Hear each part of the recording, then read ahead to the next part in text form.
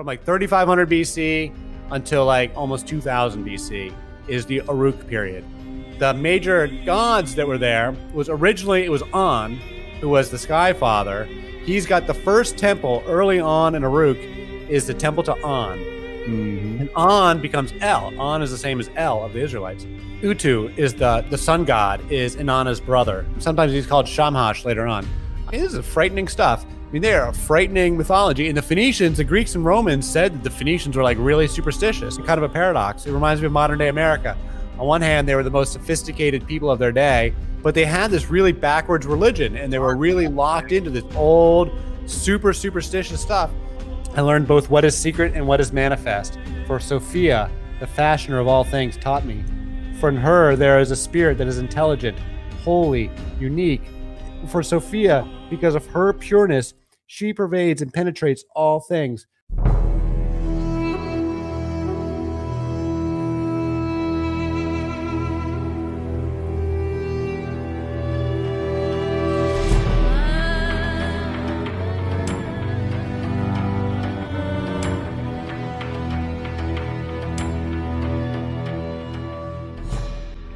Welcome back to the Gnostic Informant, and you are about to attain true gnosis.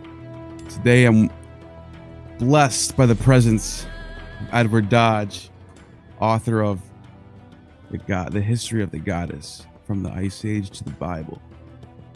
So I'll go out and check that out on Amazon. And we're going to continue off our conversation from last week about, there it is, about goddesses and how it leads up to the monotheistic age. It all plays in, it's all an evolution of ideas.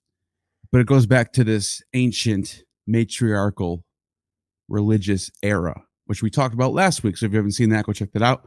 But now we're going to get into Ishtar, who is the pinnacle of all goddesses. She's the Babylonian goddess of the Ishtar cult, also the Inanna cult, and how they relate to each other and how they lead into the how they relate to the Bible.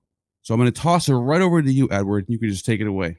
All right, thanks, Neil. You know, it's great to be here. Thanks to be with you again. I enjoyed the conversation last week and looking forward to uh, continuing it. So, um, yeah, so we wanted to today we're going to talk about Ishtar. She is really the um, she was the queen of heaven and she was the most popular deity in the ancient Near East. And she's she is in the Bible. She's called Astarte in the Bible. King Solomon worshipped her. Um, and then they call her Ashtoreth, which means shameful Astarte. And so we'll get to why they why they're shaming her. But that's the end of a long story arc because she has many names and she is um, the chief deity in, in many really important traditions. And she was the chief goddess of really the biggest, most important cities of the Bronze Age. So we're going to take it back to the beginning, and I think this is really the beginning of the uh, of the biblical narrative. Frankly, I think this is uh, takes us back to 4000 BC.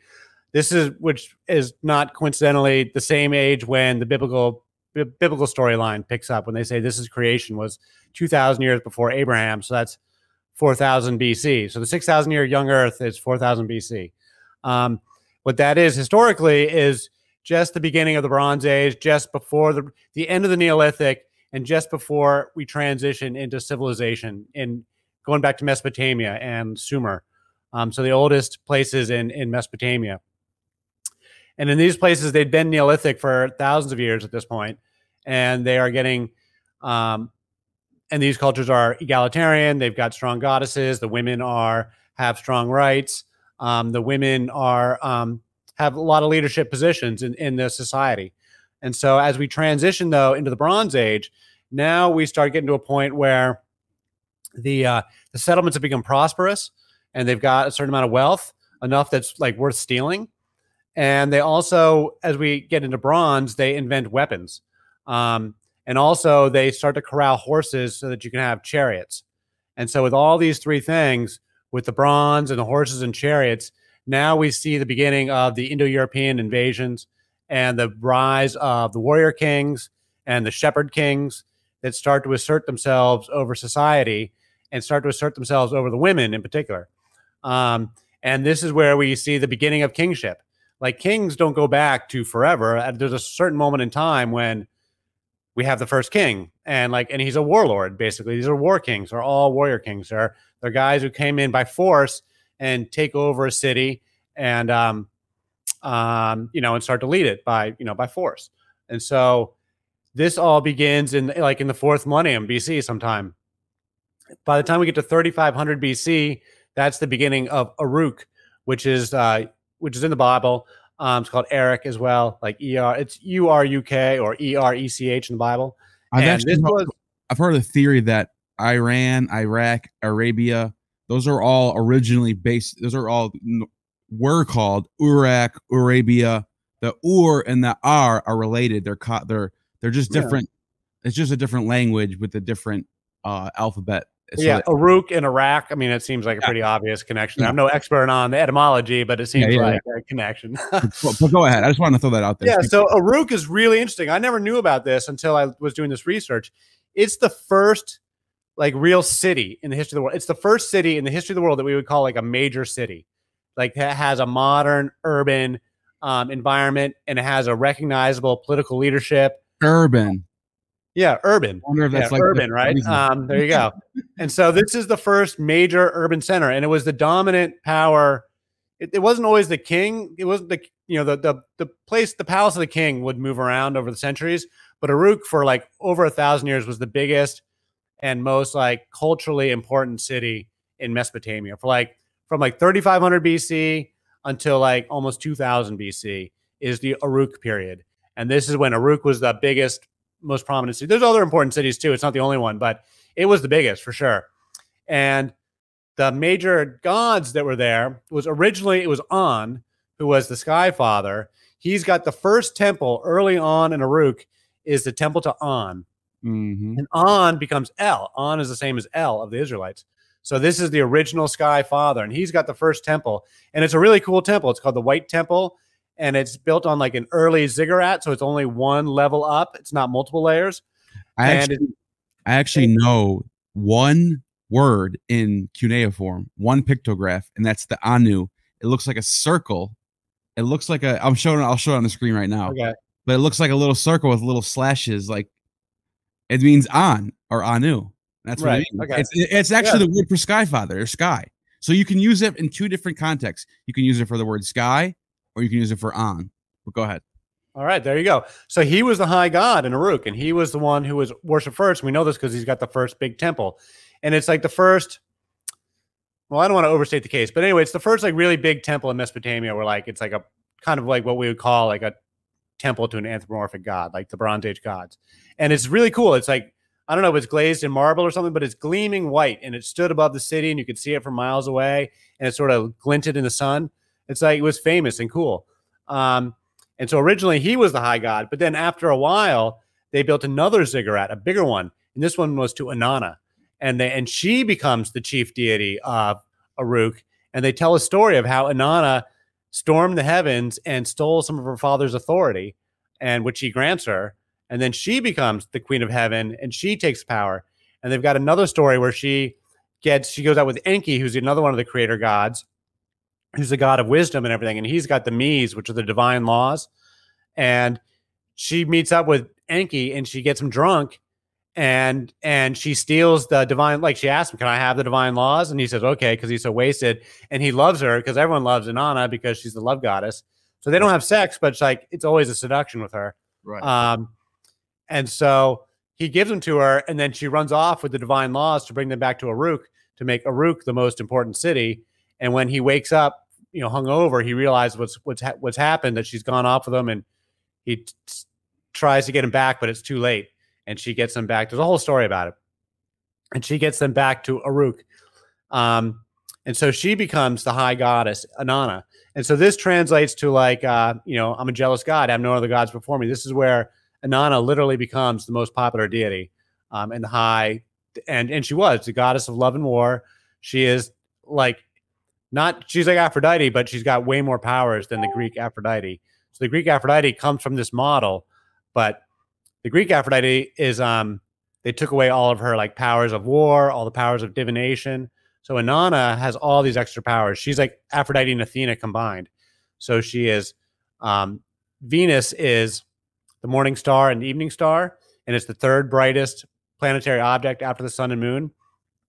right. And so, um, so it's really important. And so daytime is for love and night or nighttime is for love and daytime is for fighting. And she, you know, she leads everyone into battle, and she is um like the Ishtar temple. Like you would go there, the warriors would go there before battle to get their divination and prophecy and like be guided into battle and get the consent of the priestesses and be like told like, is this a good idea to go into this fight or not? And they would get all the divination done and make a decision to go. And then when they came back from the battle, they would go back to the temple, and there the priestesses would like heal their wounds and give them medicine and maybe sex and whatever they needed to. Want they had a ritual of it called washing away the washing the war out of man or something like that.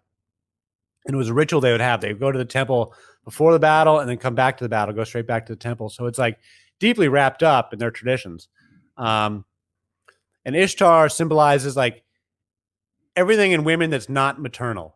Like she doesn't have any babies. Like there's so many stories about her. Sometimes she has babies, but the oldest ones, like of Inanna, she doesn't have any children, and they call her the Virgin because that means that she's childless and unmarried. Doesn't mean that she's chaste. Like back in the day, virgin did not mean never had sex. Virgin meant an independent young woman who was not married and didn't have any children. So, um, so Inanna is called the Virgin. Other goddesses are called the Virgin. The priestesses are called virgins, and then children born to the priestesses in the in like the uh, in a in a temple sex, ritual sex would be said to be virgin born, and they're like the children of heroes. Sargon of Akkad was virgin born like this. He has no father, um, because they're born to the women to the priestesses during the rituals. And he's also famous for being the one who was told that he's put adrift in a basket by a common woman mother, I think. So his mother's a priestess. Priestess, and, oh, priestess. And then then he goes he goes up the stream, and then who takes him in?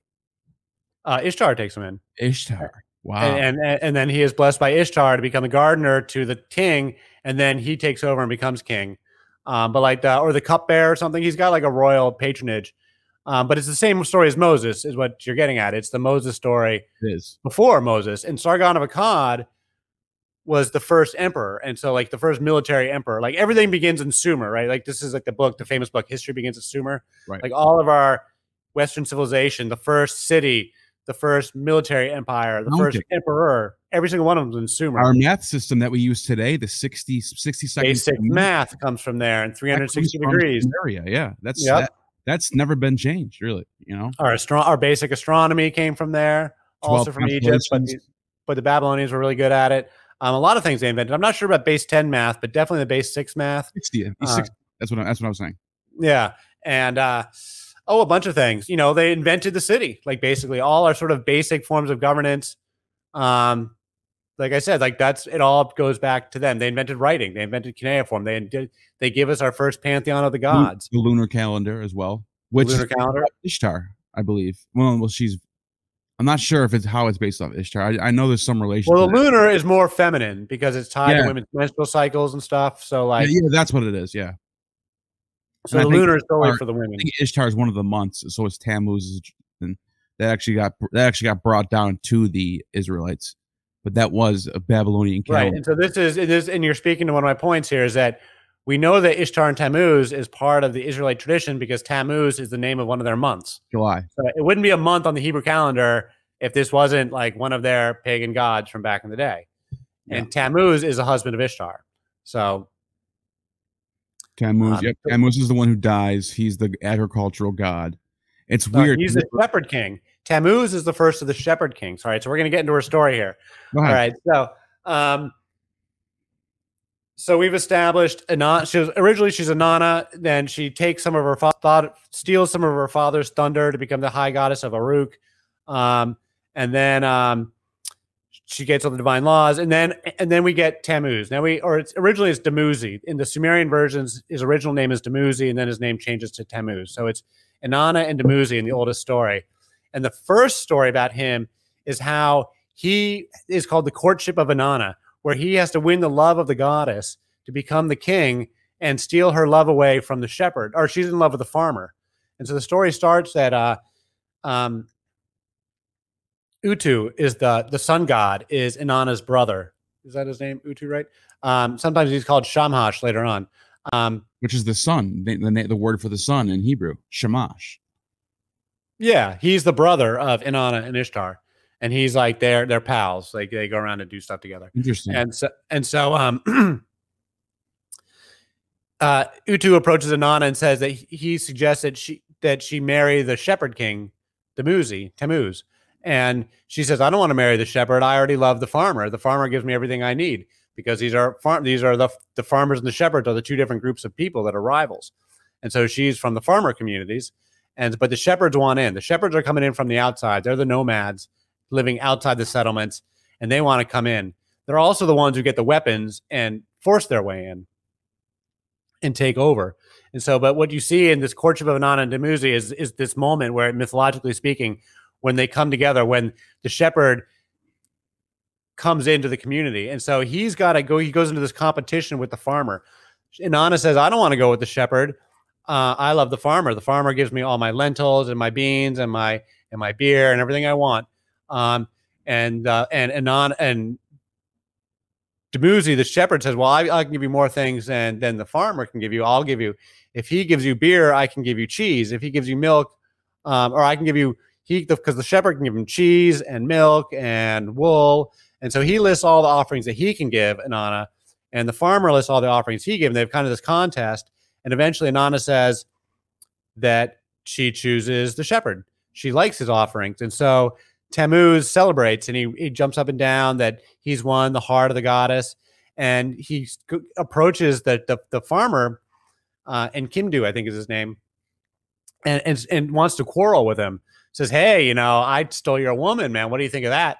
And the farmer's like, um, It's all right. You know, you can have her. I'm kind of like been there, done that she's a demanding mistress. You watch out because you might she's a bit of a handful. Um, so you can go ahead and have her, pal. And in fact, you can come in and you can you can graze your animals on my on my fields, and you're welcome to drink out of the water out of our canals, and you're welcome to join our community. And the and Tammuz, the shepherd, says, "Thank you, friend. You'll be the honored guest at our wedding." And then they go and have the wedding, um, and it's all a big celebration. And then and then there's this whole part of the ritual of the sacred marriage where when she grants her love to the shepherd, now they come to bed and it's this very sexual, it's very graphically So I quote it in the book. It's like this whole um it's like a graphic sex scene. All right, so this is uh, from the uh, the myth of the courtship of Inanna. So we, are this is this scene. We're starting with uh, Inanna is talking to her brother Utu, the sun god. Brother, after you've brought your bridal brought my bridal sheet to me, who will go to bed with me? Utu, who will go, who will go to bed with me? Sister, your bridegroom will, will be with you. He who was born from a fertile womb, he who was conceived on the sacred marriage throne, Dumuzi, the shepherd, he will go to bed with you. Inanna bathed and anointed herself with scented oil. She covered her body and with the royal robe. She, she arranged her precious lapis beads around her neck. She took the royal seal in her hand. Dumuzi waited expectantly, expectantly. Inanna opened the door for him. Inside the house, she shone before him like the light of the moon. Dumuzi looked at her joyously. He pressed his neck close against hers. He kissed her. Let the bed that rejoices the heart be prepared. Let the bed that sweetens the loins be prepared. Let the bed of kingship be prepared. Let the bed of queenship be prepared. Let the royal bed be prepared. The bed is ready. The bed is waiting. What I tell you, let the singer weave into song.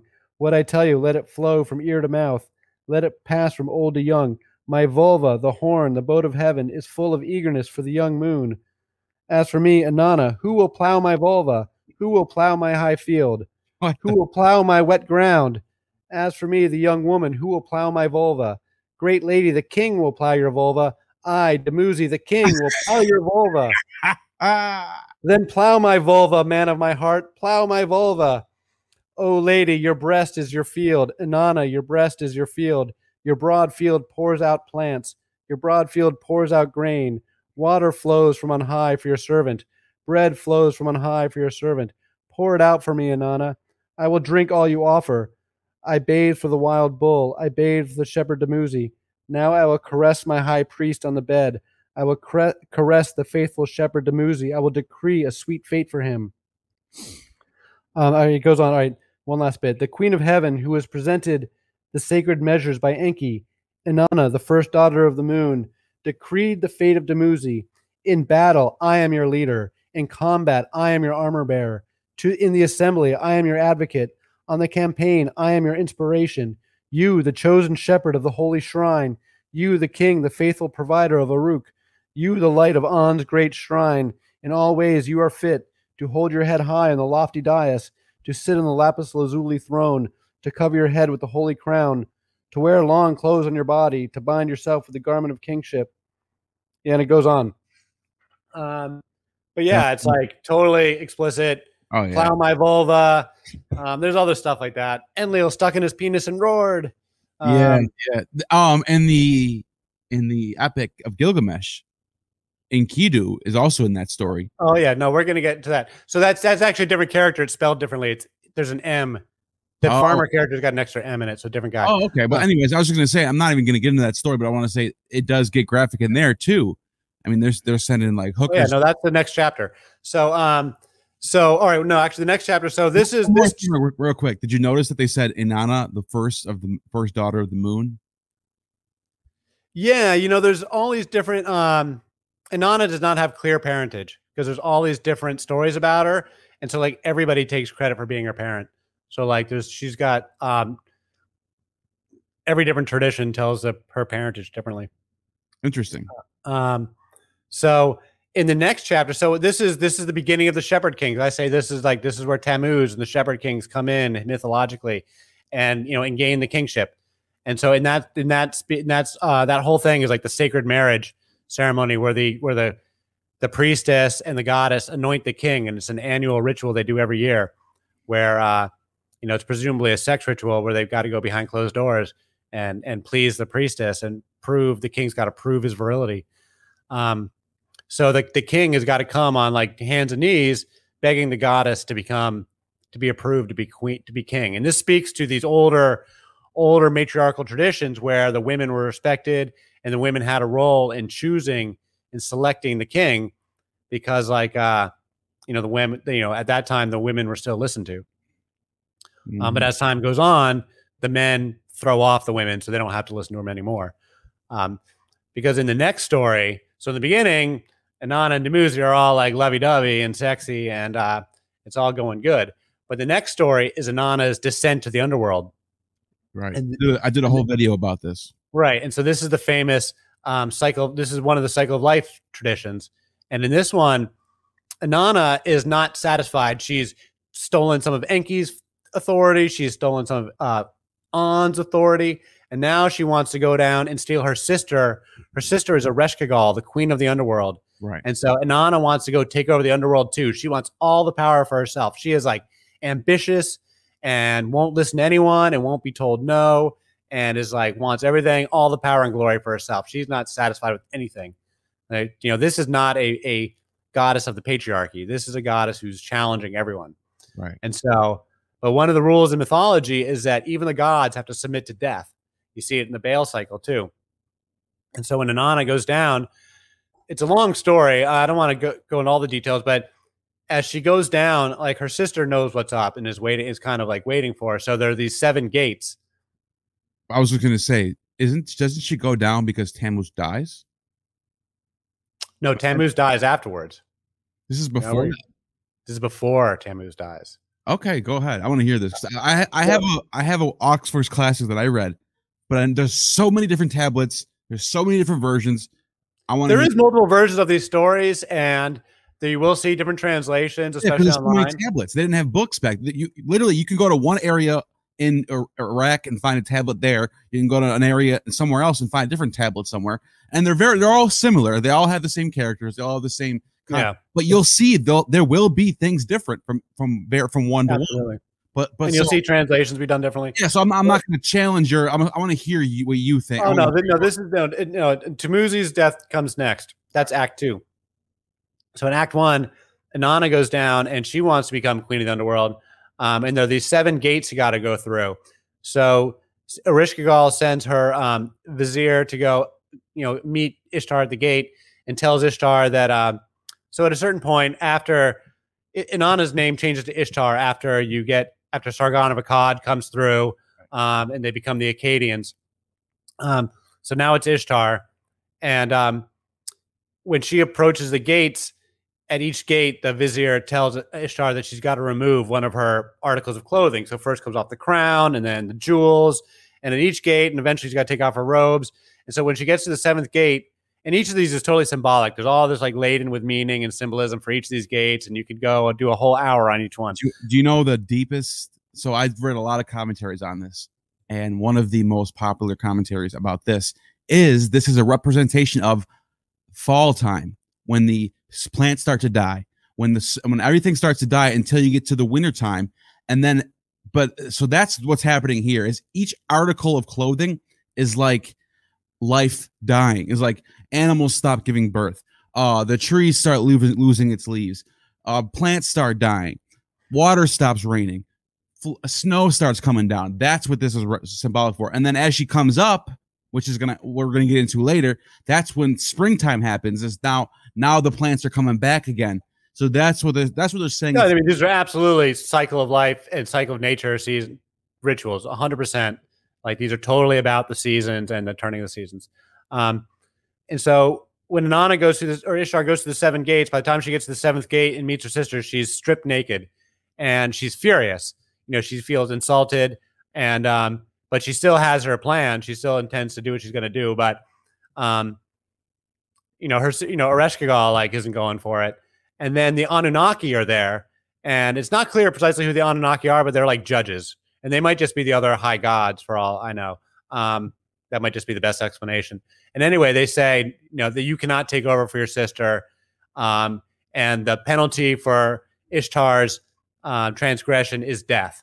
And so they kill her, and Ishtar dies, and they hang her on a meat hook, and her corpse is hanging in the underworld. Um, and this sends all of life, similar to the story of Demeter and Eleusinian Mysteries, it sends all of life into a drought and famine, and all life dies. And and specifically, they say that all sexual activity stops, and so Yeah. um, nothing is being born. this is wintertime this is Yeah, the now mid- wintertime. this is midwinter though this is like january now But this is like the you know a, a destructive event, right? A right mythological right, event. right right right And then some of the versions of the story will have that um, Ereshkigal goes into agonizing pain as though she's in labor. Um, uh, but so I missed, a, I just forgot a bit. There was before Ishtar went down below. Ishtar's got a, a faithful vizier of her own, um, I think is her name, who's a who's a female goddess that's that is like the faithful aide de camp to uh, Ishtar. And so Ishtar had told her, if I don't return in three days, again, you see the three day thing coming. right right, Uh, right. If I don't return in three days, go visit the other high gods and see if they will rescue me. Go first to Enlil, who's the king of the gods in that era.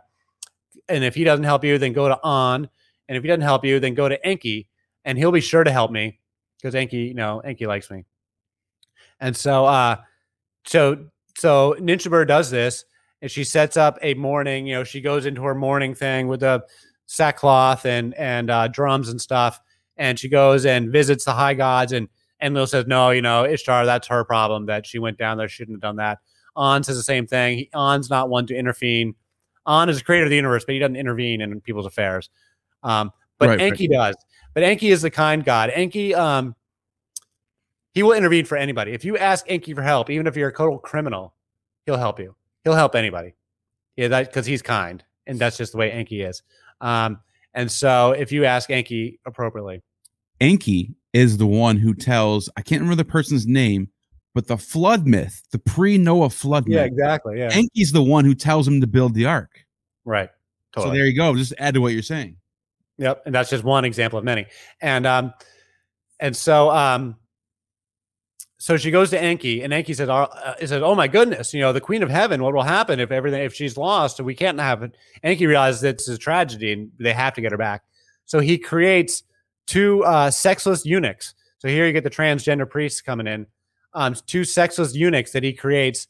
Um, they, they've got names for them, and he sends them down with the the food of life and the water of life to rescue Ishtar. And so they're led in to the underworld, um, and they find Ereshkigal in agony, like as if though she's going to give a birth, but she but she's not even pregnant. And so she's like, "Yeah, have at it. You know, you can you can have her." Um, and so they sprinkle on the goddess the water of life and the, and the food of life, and, and Ishtar is revived. Um, and so Ishtar wants to go home, but there's rules to the underworld that she now has to provide a replacement soul. She can't go home. Uh, she has to provide something in replacement for herself. So Ishtar leaves, and they send these demons to follow her to make sure that she it does good on her um, on her you know it's she's bound by honor to do this by the rules of the underworld. She has to do it. So these demons are are right on her heels, and so as Ishtar goes up, the first goddess she comes across is is Ninshubur, her faithful vizier, who honors her and everything. And so Ishtar says, "No, I'm not going to send her down." And they meet some other gods, and they honor Ishtar, and they've been mourning. So Ishtar, you know, honors them and go by. But the but the demons are unrelenting. The demons like, we need you got to send somebody down for us. So Ishtar goes home, and this is where she finds Tammuz sitting in Ishtar's throne, relaxing, having a good old time. He's not mourning anything. He's got some slave girls dancing. He's really? wearing his best outfit. He's throwing a party. He's having a good old time. And uh, and he's sitting in Ishtar's throne. And Ishtar is just enraged. She is just white hot with with rage. She cannot believe that not only is he not mourning her, because it's it's still within the mourning period. They're supposed to be uh, you know, I don't know how long they will mourn for, but he should be he should be wearing sackcloth and be scraping his body. You know, not he shouldn't be getting oiled up with a bunch of you know uh, concubines. You know. Yeah, it's supposed to be like a month of mourning for for cases like that back then. Yeah, no. yeah, you know exactly. Yeah. So um, so Ishtar is outraged. So she says, "Him, you can have him." And then Tammuz is like, "Oh my God, Tammuz." He's like, "No, he's he's he's terrified." And he sees these demons, and they're not like looking very friendly at all. So he runs off. He takes off in, in fear. And he goes and pleads his case to Utu, his brother in law, says, Please help me. Um, and Utu tries to help him. Utu like turns him into a gazelle and he runs off, but the demons keep catching him. And then the story goes on. There's actually like the continuing adventures of like uh Dumuzi as he like changes form from one thing to another to try and escape these demons. But they finally catch up to him and they beat him up and they take him to the underworld and that's the end of Tammuz almost. Um, yeah. So, so, okay, so let me ask you this because story's not over. Okay, go ahead. Finish. Go ahead. I'm. Right, so then, my question for the end. So um. So then, so then he goes down, and then Ishtar. Um. Then now, Dumuzi also has a as a a sister of his own and a mother of his own, and they're like also agricultural deities. Um. I think her name is Geshtanana or something, and um Ishtar feels bad afterwards. She she she she regrets what she's done. It was uh she did it in haste and she was mad and she feels a little bad that you know he now he's been sent to hell and like you know um you know I did love him once upon a time and you know maybe I shouldn't have you know maybe I should was a little harsh. So she's she's she's weeping. So the women weeping for Tammuz is this part of the ritual where the women start mourning Tammuz and there's a whole setup for this. There's a yeah, this is a big deal what you just this, is, this was a yearly right. ritual around, I think, October or something like that. It's the new, you know, whatever. You know, they, it comes in different parts of the year depending on which culture you're talking about. Sometimes yeah. in the fall, sometimes in the spring. Right. The um, weeping for Tammuz. Maybe it was. Maybe it was springtime. The weeping made him come back. Either it was spring or fall. It was one of the two.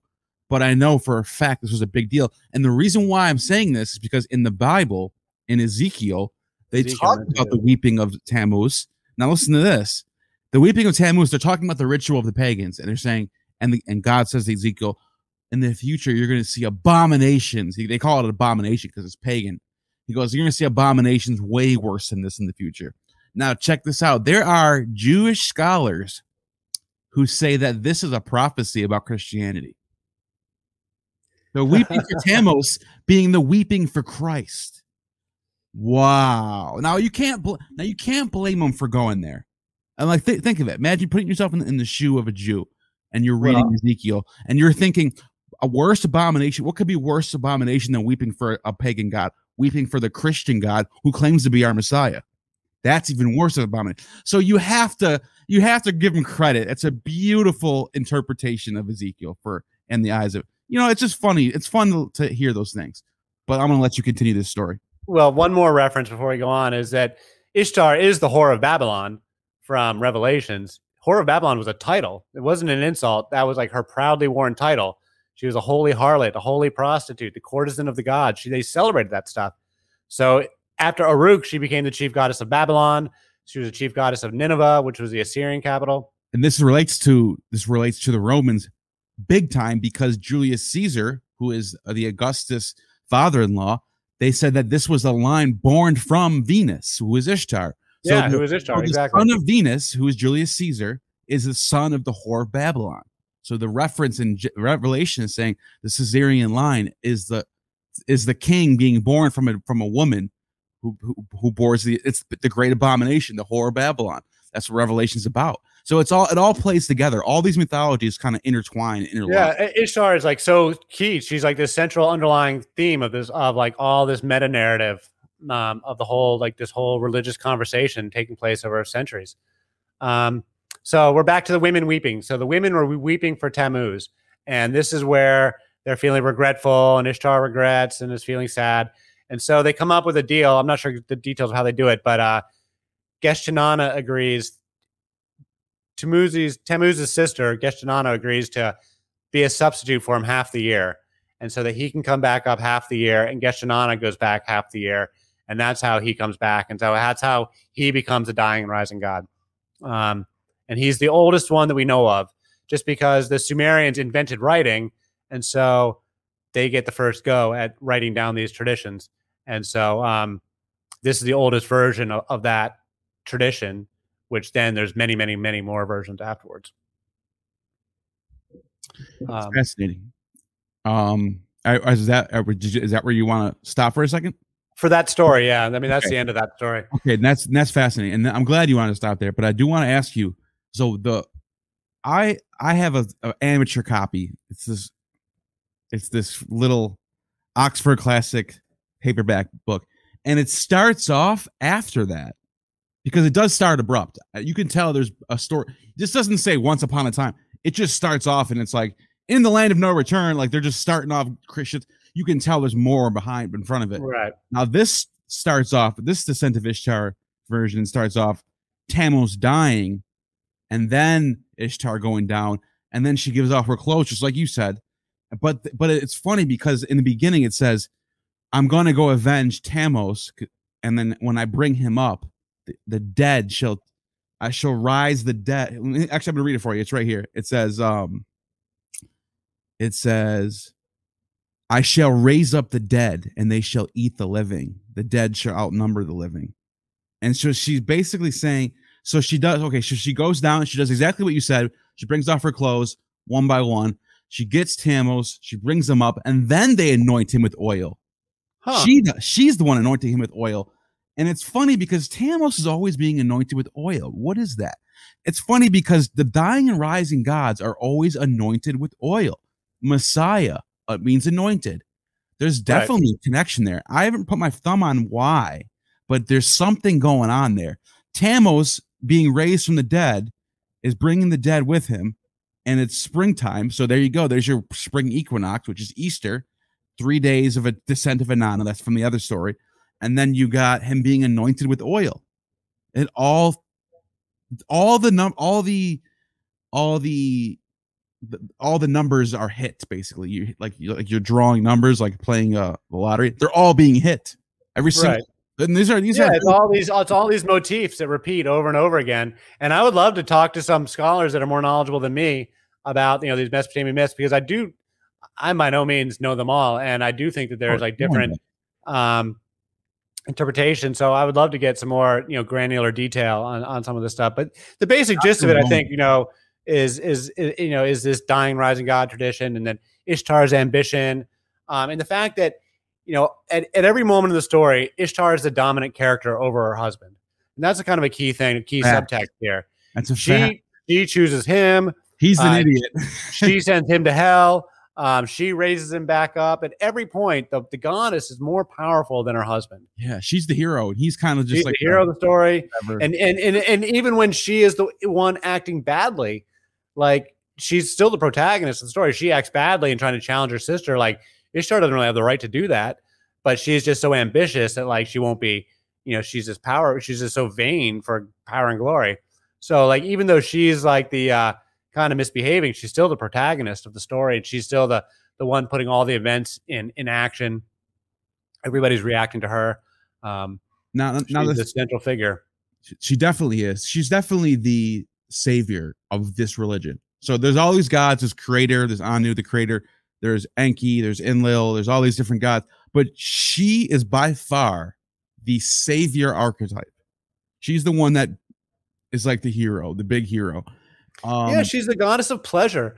You know, this is a world that like, you know, survival is like pretty thin. You know, pretty meager. These people live pretty hard, and they have these hard agricultural lives. And then the reward comes from visiting Ishtar, where she delivers everything that's beautiful and abundant and joyful and pleasurable. Everything in life that is, that you enjoy comes from her. She is the beautiful flower. She is the sexual pleasure. She is the abundant harvest. All of it, it, it all comes from her, and that's right. why she's so popular. So that part I like, and then the part of like delivering knowledge and delivering wisdom and the arts of civilization. That's where I talk about um, Ishtar being like Aphrodite and Athena combined, because Athena is the goddess of wisdom and civilization and weaving and all the practical arts. Um, all that stuff is associated with Ishtar. Um, how Ishtar is like Athena and Aphrodite combined. There you go. Um, with the arts of civilization, weaving, um, all of that was in was in Ishtar, and divination and prophecy that goes to Apollo. All of that's in Ishtar, and she's a queen of heaven, which goes to Hera, and she's got the cycle of life ceremony that goes to Demeter. Like she is like the super goddess. All the Greek goddesses, like all combined into like nearly into just one super goddess. Yeah, this is it's just fun to look at this stuff and to like and, and analyze it and try to compare it to now and to look at it as like a progression over time. Where is the human psyche going? Are we going to a better place? Do we come from a worse place? Did things get better in certain areas? I think there was a golden age in humanity. I also think that it was a time when male and female sort of co-opted the power structure and it wasn't just a patriarchal society. I think I actually think that and I just I used to not think this, but now I do. I actually think that we descended backwards when we got to the church era. Well, I mean, in certain respects, I mean, this is a, thesis of mine is that you know monotheism is religion that is hostile to the mother, um, and they've been spent fifteen hundred years trying to stomp out anything that expresses these traditions at all, and that's included a lot of wisdom and knowledge and astronomy and science that the church was totally hostile to. You know, it's an illiterate age. You know, they didn't promote literacy. They didn't want people reading the Bible. Like, I don't know. The church's history is pretty brutal. Um, but the next chapter in after after that for Ishtar is the Epic of Gilgamesh, and I'm not going to go to the whole Epic of Gilgamesh, but just to hit a couple highlights. Um, you know, sh- you know, Gilgamesh is this rough and rowdy king of, of Uruk, and again, we're back to Uruk. Um, and both Dumuzi and Gilgamesh are listed on the king's list, sort of like in the early phases. So like they may or may not be real people. Um, Dumuzi, maybe there was a king named Dumuzi who was named after the god. Who knows? Um, but these names do show up on the king's list, so it does give some implication that, um, you know, there's some there's something behind them. But at any rate, you know, Gilgamesh is this rough, rough and rowdy, and then they the, the gods make this character Enkidu to be his his mate, you know, to be his match, who's the wild man who lives out in the in the forest running with the animals, who's uncivilized. And then they send out the uh Shamhat, the uh or what's her name? I think her name is Shamhat. Uh to who's the you know the Kadesha, the temple priestess, the temple harlot, to go have sex with uh Enkidu and to civilize him. And this to me speaks to like the way a, a girl, a woman will civilize her boyfriend you know, because like any young man who's you know lived as a bachelor, living like a slob, who then like gets involved with a good woman who, you know, fixes him up and gets him to like take care of his clothes and his appearance and everything, and civilizes her man to like behave like a civilized guy and be a grown up, and rewards him by like he gets laid every night by like doing a good job and looking good. So the man's like looking good and feeling good and getting rewarded with it every day. Right. And, like that's what like a good woman will do for a guy. Um, and that's what these relationships I think speak to. Um, some of that anyway. Um, you know, gender roles when when done right. Um, and so um, Ishtar is so impressed in the Epic of Gilgamesh. Um, Ishtar is so impressed with Gilgamesh and all the stuff they're doing, stuff he's doing with Enkidu, that uh, she tries to seduce Gilgamesh, and she says, "Hey, you know, you want to touch my vulva?" And uh, and um, Gilgamesh says, "You know, what could I possibly give you that you don't already have? And then he goes through listing all these her past lovers, including Tammuz, um, all of whom were like she kind of abused and treated poorly. And you know, because she's like totally promiscuous, and any lover that takes too much of an attachment to her, she can be cruel to and like you know kind of blow them off. And sometimes you know she turns them into like goats and things. Um, so he goes to this list of her past loves and the sparrow, how the sparrow was doing all these things for you, but you broke his wing, and then the gardener, you turned him into a, a gnome, and you know all these people that loved you, and then you you injured them somehow and treated them. They end up with these tragic fates, including your, your one and only husband. Gilgamesh is like, why would I want to go to bed with you? Like I, you've already got everything I could offer you, and I'm going to end up in some terrible fate, and insults her basically, mm-hmm. and so she's outraged. She's like, how dare you say this? And she says you know, lies and transgressions. And she goes up to her father An, and she's completely furious, and she demands that, you know, he that he give her the the bull of heaven. Otherwise, she'll rip open, as you were saying before, she'll rip open the, the gates to the underworld, and the dead will outnumber the living, and I will mm-hmm. destroy everything if you don't let me give me the bull of heaven so I can go destroy Gilgamesh. And so An's like, Well, I don't want you doing that. So he gives her the bull of heaven, and she goes and sends it down to sick Uruk, um, and he goes tearing stuff up and knocking, you know, bashing the walls. But then Gilgamesh and Enkidu go fight the Bull of Heaven, and they kill it, and they kill the Bull of Heaven, and the gods are all outraged by the by this transgression, and but they like argue back to the gods, and Ishtar comes down to visit them, and they they they tear the leg off the Bull of Heaven, and they hit Ishtar in the face with it. Enkidu throws the, the leg up and smacks Ishtar right in the face with it and he says, I would do more to you. He's like super insulting. Um, Sounds like and so again, she's completely outraged. But um, the gods' response is that Enkidu must die. So they kill Enkidu. And then Gilgamesh, who's just basically, he's basically like, they might be gay lovers for all we know. Um, he's like a total bromance. Nice. Um, and so then this is what Gil- Gilgamesh is upset about immortality. And he goes on his quest to find the tree of life so that he can be immortal.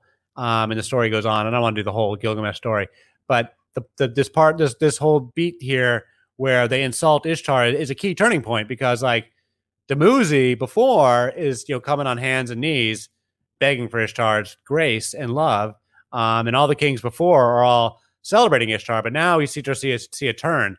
Gilgamesh is not so much. He's like he's gonna challenge the goddess. They're starting to they're starting you're starting to see it in the mythology that the they're losing some of their power. And you and and you can see in the laws that you know the the kings would write the laws on these steles, like Hammurabi's the law codes of Hammurabi from Babylon from around 1800 BC are the most famous. Or the Ur Nammu was even before that. Right, that's what I was going to say. They're neither the first nor the last. So there's actually a whole line of these. Yeah, and you can see, and they talk about the sanctified women, the Kadesha priestesses, and there's some other ones too that are non-sex priestesses. The Naditu were uh, also sanctified women, but they were involved in business. They weren't involved in sex. Interesting. Um, but these women, you can see how they've got property rights that are laid out in law, and you can see over the progression of the centuries that they lose some of those rights. And you could do all somebody should do a whole scholarly paper just like on the progression of the laws because you see them have less and less property rights and stuff. And then by the time you get into uh, the Old Testament, Deuteronomy um, bans them says flat out you you should not allow your daughters to become kadesha at all. And so when you put all these lines, all these lines of of law codes in, in a row with the laws of Deuteronomy at the end, you can see this progression where the women ultimately lose their power altogether. Yeah, that's it's interesting how that works. Like, why why do you think? I mean, my actually, I have a theory on that. I think that as warfare started to get more and more advanced, became more and more of a cultural way of life. Like we don't we don't sack that city. We don't eat tonight. We go poor. We go into famine. So as that became the thing, the Iron Age, the Bronze Age, these war ages, that's when men start to really rise up and use their strength to try to. That's exactly what I believe. It's exactly yeah, my theory. That, that's got to be what happened. But what happened as as a mistake, and, and we paid the price for that because we lost a lot of wisdom as that we became this macho like Julius Caesar, Alexander the Great. And we just lost our our touch, our loving touch. We lost our desire to do the right thing. We lost a lot of things, and like I, the yin and the yang is a great symbol because it really shows the masculine, the feminine, dark, light, all these like uh, you know what I'm saying these all these duality of all things sort of and there's like a dot in each side like you need a little bit of every a male needs a little bit of female side to him yeah female, no absolutely 100% so, like in uh, the lingam and yoni um the altar the hindu altar of the lingam you know what that is that's like the phallic it's like a it's a small altar that people have in their homes oh yeah, yeah, yeah, drink offerings over it and it's a phallic you know penis shape and then the yoni is a is a ring that goes around it that's the female that's the male and the female and it's totally phallic for both. They call it a, a vagina It's called a yoni. So right. I mean, it's, um, and a penis is called a lingam. I mean, it is deliberately. So um, the Hindus have a very elaborate theology of that matches the male and the female. And when you put them together, you see that Christianity is not complete. It's hostile to all these layers of wisdom and all these feminine aspects of life. It's not just that we don't have it; it's that they've been overtly stomping on it like trying to get rid of it hard, really like with violence yeah. for centuries. Yeah, it's um, like suppressing something. And there's something about like the popes and these bishops and like how they how the nuns have to be in to do is they have to do these certain things and dress a certain way and they can't have a and there's something about the structure that's set up that's like screams at you is like control freak like Really yeah, absolutely. An authority fetish. And, it's and an authority fear. fetish. And fear. Fear of yeah, what fear. happen to lose that power. Sin and judgment and condemnation, all this stuff. Yeah. Um, but I do want to continue the story because it continues into the Bible. Sure. So now, as we get into the Israelite era, so then we have the Bronze Age collapse. Um, I don't want to spend too long on this, but this is when Yahweh gets introduced as a reformer. So the Israelites are an existing tribe; they're worshiping all these same. But now we're into Canaan, so the the names have changed and the pantheon has changed a little bit. So now Ishtar is called Astarte. She's got a sister named Anat, who's powerful in her own right. The goddess of like Kali, she's goddess of death. Um, so she's pretty darn powerful in her own right. Baal is the king of the gods. He's a little bit nasty. They've got child sacrifice. It's admittedly kind of a, it's kind of a gnarly religion. The Canaanite religion is like, in my opinion, with Baal and Anat as your high gods, those that is a frightening and infant sacrifice in your culture. That is a frightening religion, if you ask me. I can see why they were having a reformation against this particular group because the Phoenician Canaanite religion is like totally gnarly. Like really, really, I think even by the standards of the age, I think the infant sacrifice really because I don't see that anywhere else. I looked for that. Like there's loads of human sacrifice, shit tons of human sacrifice all over the place for loads of different reasons. But the infant sacrifice is a specific tradition that I only see with the Phoenicians and Canaanites. I don't see that anywhere else. So basically, I only see it with the religion of Baal. I don't mm-hmm. see it anywhere else other than under the regime of Baal. And then Baal goes with Anat, who's like Kali. So this is like, I mean, this is frightening stuff. I mean, they are a frightening mythology. And the Phoenicians, the Greeks and Romans said that the Phoenicians were like really superstitious. Like there was a paradox. It was like kind of a paradox. It reminds me of modern day America. On one hand, they were the most sophisticated people of their day in terms of being artisans and business people. Yeah. And, and explorers and stuff. By far the most sophisticated. Alphabet, like all types of. But they had this really backwards religion and they were really locked into this old, super superstitious stuff. And this is like America with all these like Old Testament Bible freaks still like hung up on like these really antiquated ideas, if you ask me.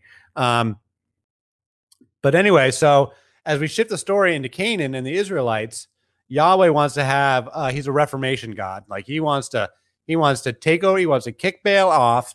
Yahweh wants to become the new Lord. He wants to end these traditions of infant sacrifice. He wants to end the idolatry, whether the gods and the stones, and he wants to put these Kadesha priestesses and these goddess traditions. These these are mystery religions, basically. Yeah. He wants to put them out of business. He hates them. They want to get rid of them. They want to have the shepherds alone, all Heavenly Father, all the time, no mother goddess None of that stuff. Because that's what's happening in the cities. That's what's happening in Sodom and Gomorrah when it gets smited by God and blown up to bits, which they think now might have actually been an actual historical comet strike. They may have actually been hit by an asteroid and uh, it actually blown to pieces and like, you know, in that in, in antiquity as an actual event and that they then told stories about them being smited by God, which to me is like, like all right, like but, so I, can, I can see that and here's what I think about that because it's an event like that does happen, and it will happen eventually in history. It, and if it does in a time period like that where people are already think that all these stuff, all the stuff in the sky is must be the heavens, that's going to be traumatic, and it's going to change everything. They're going to think, what were those people doing?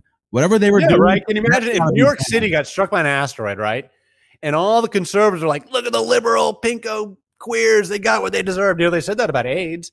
You know, right. like they would say the same thing if if you know, or Berlin or some super like liberal cities, like some city that or Bangkok or something, some city that has a reputation for like licentious behavior, Las Vegas or something, you know. It's, yeah. it's Las Vegas got struck by an asteroid.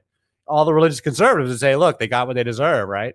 Yeah. Um, um, so yeah, like I think that like that seems like a realistic if if that's what the archaeologists say, like they can pinpoint, you know, an actual asteroid strike at 1300 BC that's like within living memory of these of these cultures. Like I I, I can imagine it, and, I, at least I can imagine them telling stories that way. Like they were smited by God because they were a bunch of you know goddess worshippers having orgies all the time. Yeah. Um, because like I think these folks knew how to party. Frankly, I think they enjoyed themselves. I think uh, they did a hard day's work and then they drank beer and and uh, had a good time at night. And, and the thing about paganism, it was there's there's so many different gods that you invoke for certain different reasons.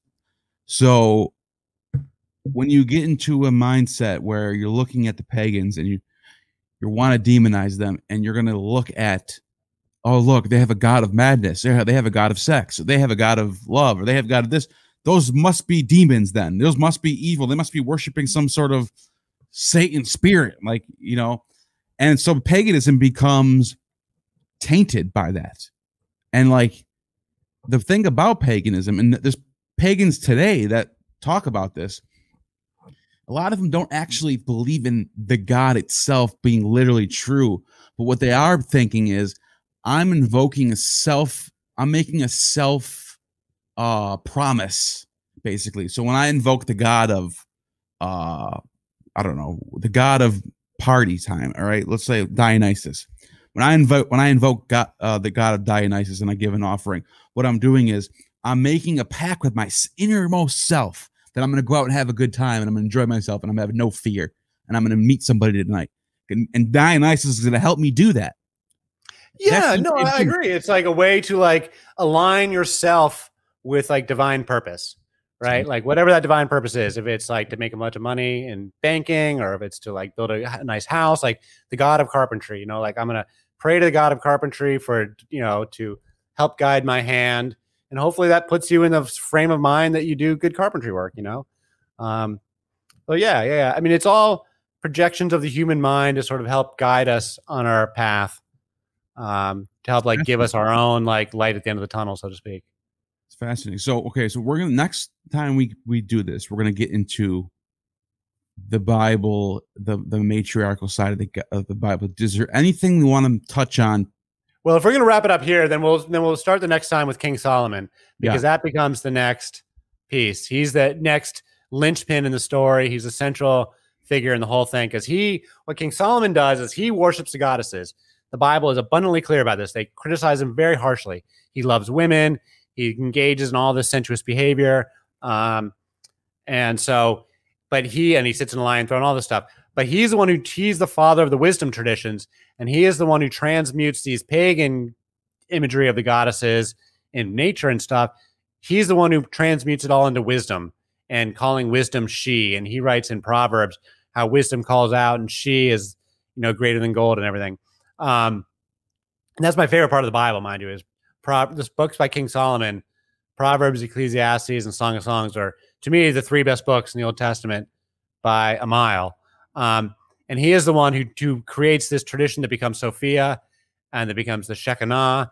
Um, and all these aspects in Sophia for the Gnostics, like all that comes from King Solomon.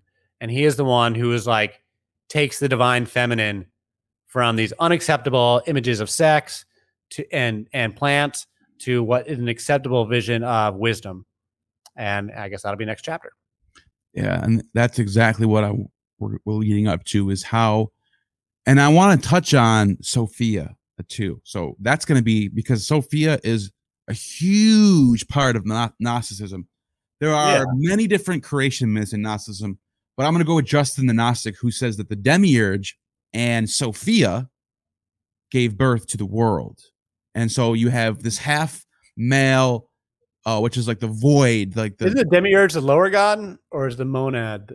well here's the thing there's so many creation myths in in gnosticism that the monad is like the the the, the um the pleroma He- Is he's the- uh, he's El, right? He's the high god, yeah the highest and of the all demiurge is Yahweh. He's not even really a deity he's everything he's the all that's what the Right, monad okay. is everything comes from the monad that's what the um the chaos he's like the chaos serpent eating its own tail.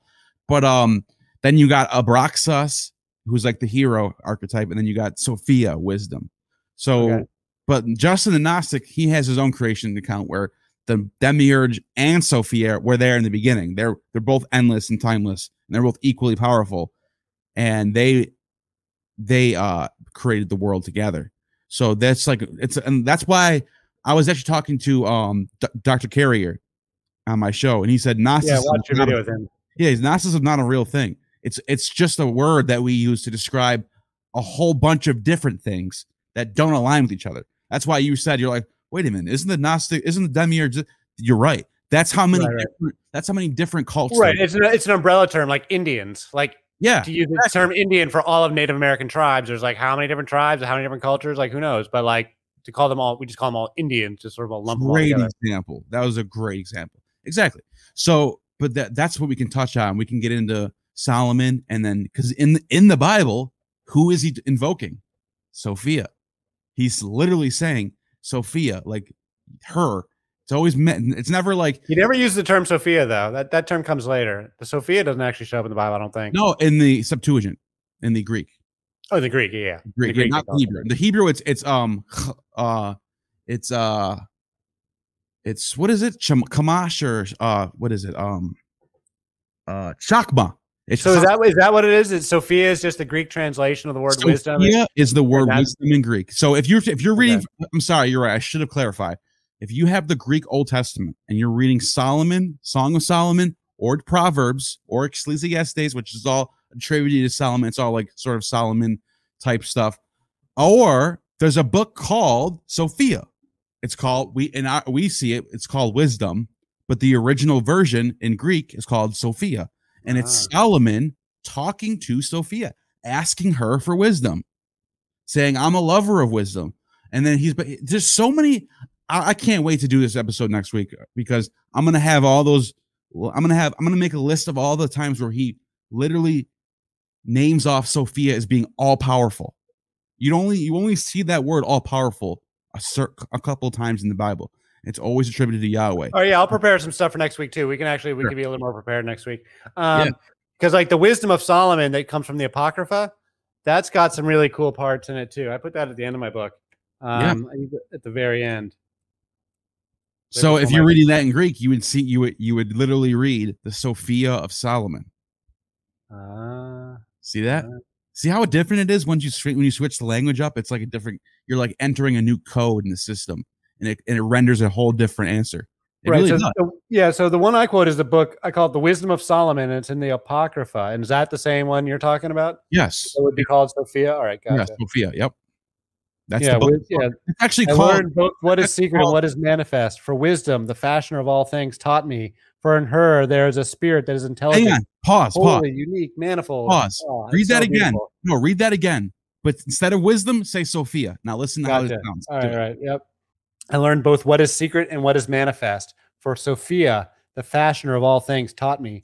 For in her there is a spirit that is intelligent, holy, unique, manifold, subtle, mobile, clear, unpolluted, distinct, invulnerable, loving the good, keen, irresistible, beneficent, humane, steadfast, sure, free from anxiety, all powerful, overseeing all, and penetrating through all spirits that are intelligent and pure and most subtle. For wisdom, for Sophia oh, Yeah, is there. more mobile than any motion. Because of her pureness, she pervades and penetrates all things. For she is a breath of the power of God and a pure emanation of the glory of the Almighty. Therefore, nothing defiled gains entrance into her. For she is a mm. reflection of eternal light, a spotless mirror of the working of God, and an image of his goodness. Though she is but one, she can do all things. And while remaining in herself, she renews all things. In every generation, she passes into holy souls and makes them friends of God and prophets. For God loves nothing so much as the man who loves with Sophia. For she is more beautiful than the sun and excels every constellation of the stars.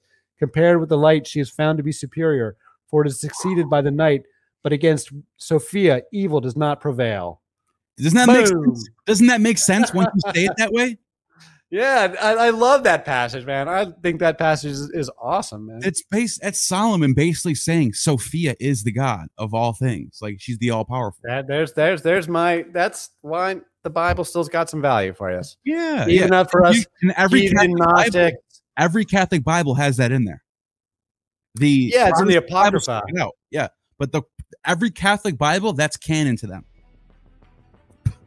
Tell me that's and now it makes sense. Now all of a sudden Catholic Catholicism makes sense. Why they have the Mother Mary, why they do that the whole entire that oh, aspect. Oh yeah, the Virgin now Mary. it all makes the best part of Catholicism. That's what I'm trying to get at. It's like there's a reason why it's all there. It's a. And I think it's a big mistake that the Protestants knocked her out. Mm, right. The Protestants are like, absolutely. They were totally right to point out that Virgin Mary is just like a once removed pagan goddess. Right. But they were wrong to say let's get rid of her. What we should have done is elevate her back up to her proper placeage. And that's what we to do now. That's, it's perspective. It, it, you know, depending on how you look at it, but it's they're they're both valid. They're both equally as valid. So, you have just attained true gnosis and go and buy the book, Amazon.